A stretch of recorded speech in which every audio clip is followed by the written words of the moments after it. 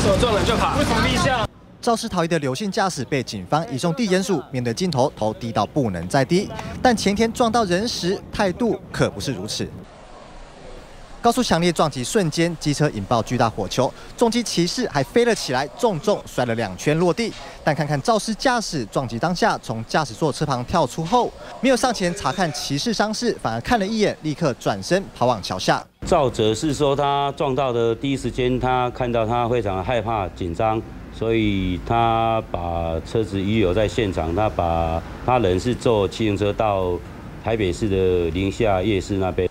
自小客车被撞后，继续逆向往前冲了四五十公尺，撞上路桥桥墩后才停下。车子挡风玻璃破裂，车头保险杆全毁，而重机则是整个烧毁，呈现烧黑支架。汽车本身的它的安全气囊都爆掉了，然后赵哲称说他自己有气喘，然后害怕是从车窗跳出来的。